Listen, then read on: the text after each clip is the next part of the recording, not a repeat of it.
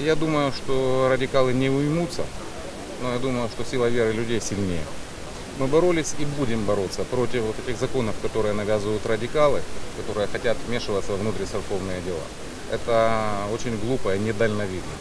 Я в крестном ходе принимаю участие далеко не первый раз.